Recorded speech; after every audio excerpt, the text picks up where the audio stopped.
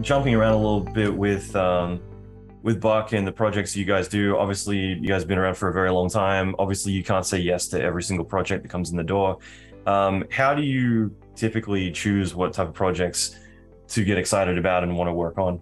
Is it more the relationship? Is it more uh, the content type, or, or, what is it? Yeah, I mean, I think that it's shifted over the years, probably, um, and really even over from day to day. But you know, that is a big. We do turn down a ton of work, um, and I would say that, you know, a lot of what I think has driven Buck's success is that we we're a thoughtful and curious and bunch, right? So we will entertain lots of different things. And just because it might be something that doesn't speak to me creatively or financially or whatever, doesn't mean that it's not uh, right for the team or for Buck. Um, and that's, you know, as we've grown, that that kind of, I would say, mindset has grown exponentially.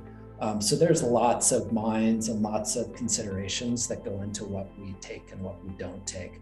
I would say what's changed over the years is we've always been a good blend of business and creative. And I think everyone at Buck, we've always been a very open environment. We've always talked openly about our financials, about budgets. I really never liked the, the idea that agencies sort of separated those two because I feel like, if, especially if you're curious and creative and a craftsperson, you're like, tell me what, you know, tell me what the, what the, where the walls in the sandbox are that I can play because there's lots that we can do with, uh, as long as that information is shared. So I think we've always had a healthy blend, even in our creative leadership of really thinking about, is this financially viable? Are we going to be able to make something great with this budget? Um, can we control that? Can we have a seat at the table with the client that's saying, you've asked for this, but given these parameters, timeline, budget, et cetera, what if we did this? I think, you know, that sort of um, way of working has always been valuable. And so I think what I, we've seen shift over time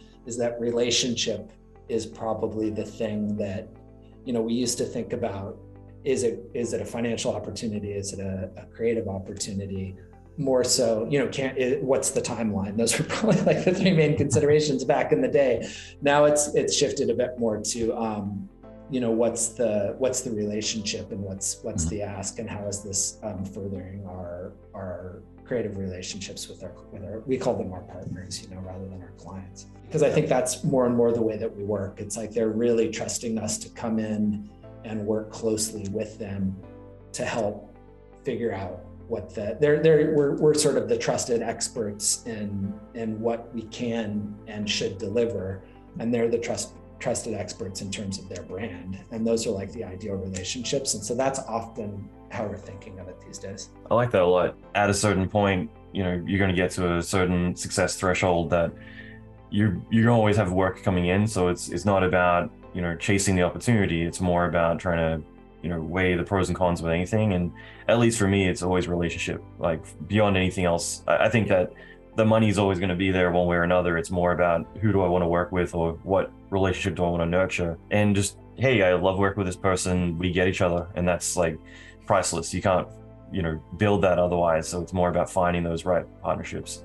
Yeah and it's like that experience. And i think we found more and more that it's less about what we make although that's of course hugely important to us but it's about how we make it or how we do it. Ultimately comes down to trust. It's sort of like building trust over time. Um, and sometimes that trust happens really quickly just because you have you have really shared values right? And that's really awesome when that happens you know? It's like you find a team where you're like oh it feels like we've been working together for years. Um, and those are the, those are you know the to, to me that's probably the been the biggest indicator of success at buck is there was a certain thing that I think shifted um, really in the, I guess probably in the business landscape, you know, in the mid mid 2000s where a lot of power was shifting towards Silicon Valley, um, and a lot of agency folks and creative folks were joining those teams. And I think we found that what shifted there is we were no longer kind of put in this box of production company or animation company or studio or whatever they called us. Um, we were more started started to be seen as like creative partners and they'd be like oh you can you can deliver that thing or make that thing amazing. What about this other thing, you know, and that was something that allowed us to expand our capabilities organically through relationships. Um, and that was like, you know, ha- finding the teams that understand that you're creative problem solvers, and so they'll sort of they they want you to help create and solve more and more problems, and that's been a great thing for us. But it's also uh, you know, it's helped fuel our growth, but it's also one of the things that as you build those relationships, it can become challenging where you're like, we're used to delivering our core competency of design and animation at this level. Now, what happens when they start asking us to deliver experience or like a physical installation or, um, you know, creative technology, which we've really pushed into, or like AR or VR. And we're being asked to, that's really exciting for curious folks, but you also need to make sure that you're continuing to show up at that level, you know?